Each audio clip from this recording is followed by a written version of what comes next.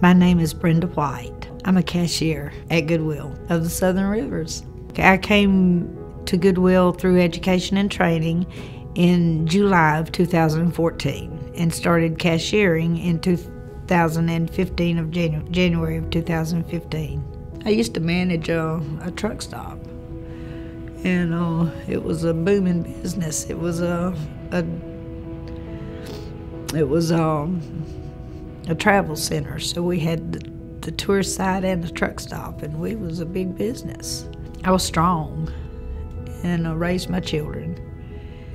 But uh, then I married the second husband and quit that job, and we started driving trucks. And you know, I screwed up, went down the wrong road. And I was drinking at work and got took off the schedule, so I lost my job.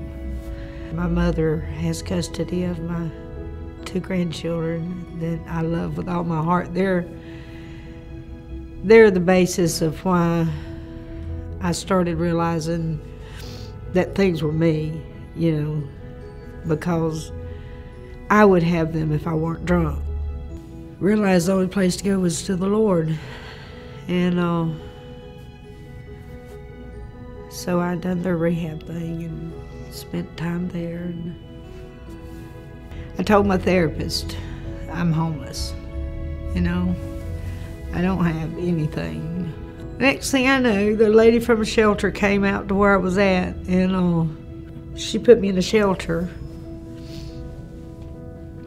And uh, I've been in the shelter ever since. I now have an apartment on my own, but uh, I'm still in the shelter.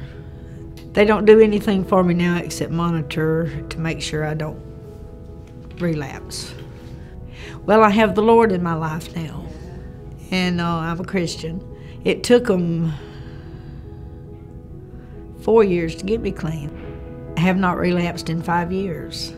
I, I lay it all on uh, good people, people loving me. I didn't understand. I didn't understand people caring about other people. That was the hardest thing for me to understand. But uh, I've, I've come out of that strong.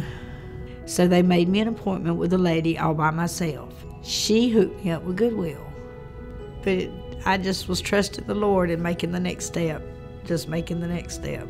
It, it, it makes me feel like I have something to live for. Um, it makes me feel like maybe grandma's important to those grandchildren now, you know? makes me proud to say I'm part of Goodwill. When somebody asks me where I work, I say Goodwill. and I'm glad to say that. I'll tell you who keeps me going now, and that's Diane and Mike.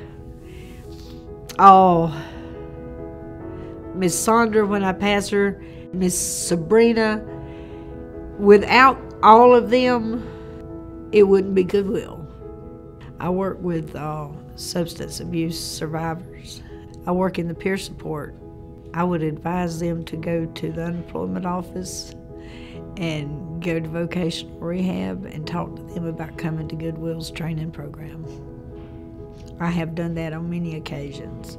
So I try to lead them to Goodwill, to the training program, and see won't it help them to better their lives. Because I know there's such good people here.